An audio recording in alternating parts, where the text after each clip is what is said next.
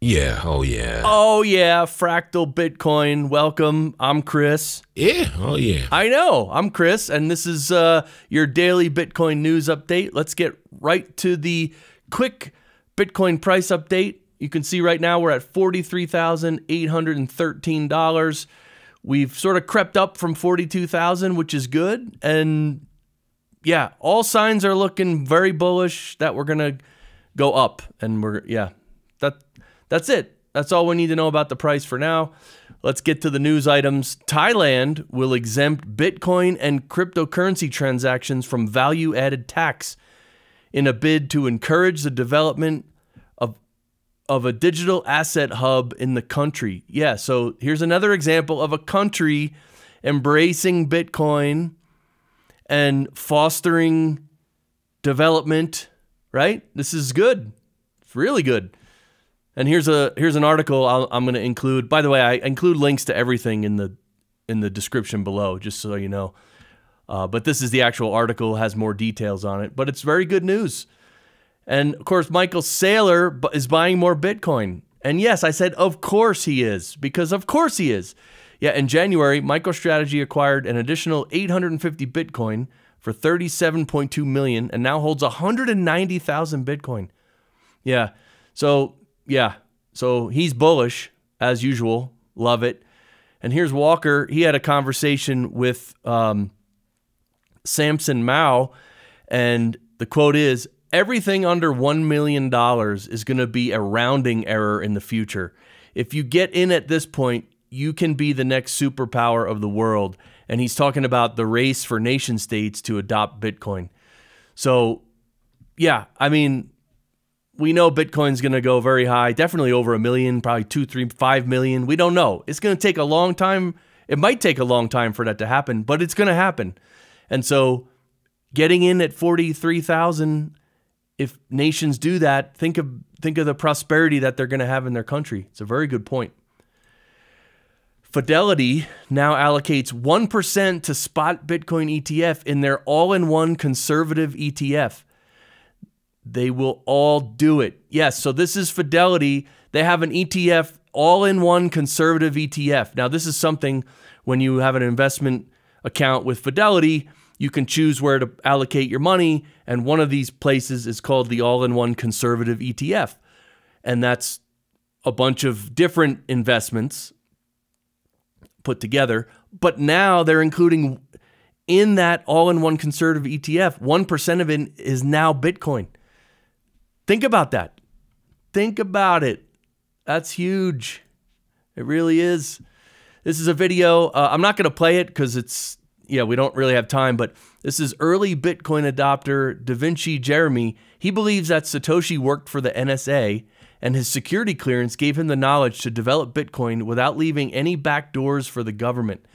Yeah, he actually goes to describe the different encryption models or something and how it, it's it's very interesting. And you might think, oh my God, what if the NSA really did create Bitcoin? Doesn't that mean the government's running it and everything?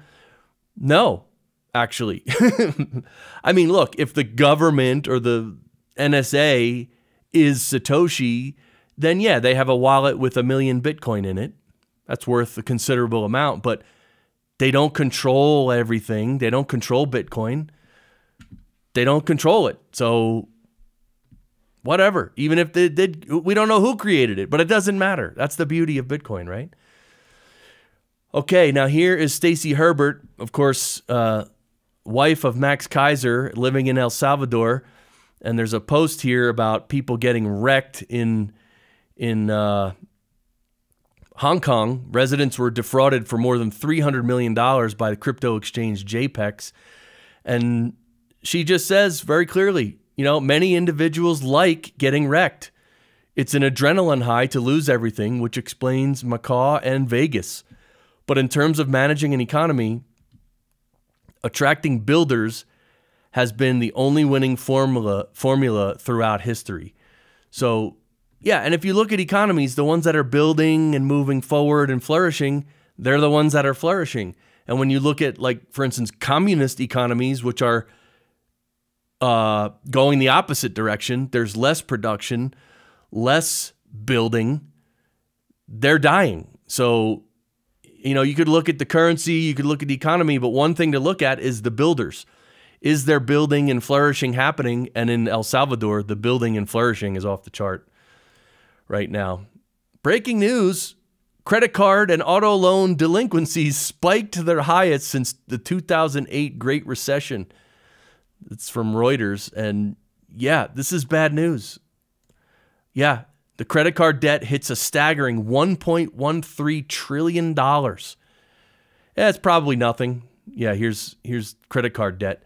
Yeah, I mean, look, credit card debt is bad. I, and I love all these guys, these financial guys who correctly tell people first thing you got to do is get out of debt and don't go into more debt.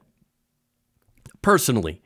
Now, in business and, and when you get to bigger numbers, debt plays a different role. But in for individual people, debt is not good because that's a, it's like a form of enslavement. It, it's a self-imposed enslavement. So don't self-impose it. Right? Seems pretty simple. Now here's Obama in 2020. Uh, actually, I don't know when this was. He when he gave this little speech here, but uh, he says that Bitcoin is like everyone walking around with a Swiss bank in their pocket. Yes, correct. and we love it. And he basically points out, you know what? Let's listen to this. Let's listen to uh, this guy. The question we now have to ask is if technologically it is possible to make an impenetrable device or system where the encryption is so strong that there's no key, there's no door at all. What mechanisms do we have available to even do simple things like tax enforcement? Because if in fact you can't crack that at all, government can't get in, then everybody's walking around with a Swiss bank account in their pocket. Yeah. So basically, he wants, think about it. He, what he wants is the government to be able to not only tax you and all that, and know, but they want to know what you're doing financially and they want to be able to turn it off. Think about that. Think about that. Where, where is freedom and liberty with these absolute cartel members, these authoritarian lizard people? It's insane. All right, here's a video today from Guy Swann. The title is The Debt Doesn't Matter. And of course, that's not true. And he explains in the video why the debt does matter. Basically, people say, oh, the debt doesn't matter. And he's sort of explaining why it does. It's a very good video, three minutes, 22 seconds. We're not going to watch it here, but uh, I will link to it. So definitely check that out. It's a good one from Guy Swann. This guy, I don't even want to play this again, but this guy, basically, he's saying that with cash, when people use cash, the government can't really track it very well. And so what he's saying is the CBDCs are so great because now they're going to be able to track everything you do, every tiny little thing you do. So whenever there comes a vote for CBDCs, which stands for central bank digital currencies, we all vote no. We don't want it. We're not doing it. Sorry. Thank you. Drive through. Um, now here's a little post from the Fern Plant Shop says, wow, Zeus point of sale integration with Square terminals and inventory man management worked flawlessly. So these guys are selling plants from a plant shop with using Bitcoin, using Zeus point of sale integration. Zeus is an app. And so they have a little point of sale where people can pay, you know, buy stuff with Bitcoin. And uh, it says, can't believe how easy it was to set up to take Lightning payments in our retail shops. This will allow us to easily train staff on how to accept Bitcoin. Incredible work. Yeah. So the adoption's coming, right? Isn't this exciting? You know what's what else is exciting is Bitcoin 2024, July 25th to 27th in Nashville. I hope you're going. Uh, also, Nunchuk is an app. It's a Bitcoin app, and it, it's a Bitcoin multi-sig wallet. And anyway, they have a bunch of updates, but it's a cool wallet. Uh, check it out. Even uh, BTC Sessions did a good video about Nunchuk. And this is about Alby now Alby is very happy with this integration with Start 9. Start 9 has integrated NWC into their Start OS. So, yeah, NWC stands for Nostr Wallet Connect. So now the Start 9 servers, which is like a Raspberry Pi server, but using Start Start OS operating system, which uh, yeah, I actually have one. They're awesome. They're really awesome. But now it's going to be uh, integrating Nostr, Wallet Connect and and it, anyway, look, there's so much development happening. It's exciting. This is our website, fractalbitcoin.com. And if you click the link on the top, join our locals community. You'll come over here to our locals. You'll be able to hang out and chat with us. It's a really great community. And don't forget, on Fridays, we do the Bitcoin panel. Oh, this is awesome. 4 p.m. Eastern on Fridays. We do it for about an hour, so it's not too long, but it's really packed with awesome people. And I just uh, want to thank, I'm not going to name them because, uh, but anyway, I got a huge zap on Nostr today for the show. So don't forget, this is another way you can support the show is to zap my posts on Nostr and the Fractal Bitcoin account. So that's it for today. Thanks for watching. If you want to subscribe and follow the channel and, and like the video and all that, please do. Uh, and if you want, please comment. I, I always love to hear you from you guys in the comments, even you trolls, because you trolls don't bother me at all. You're coming around, you trolls.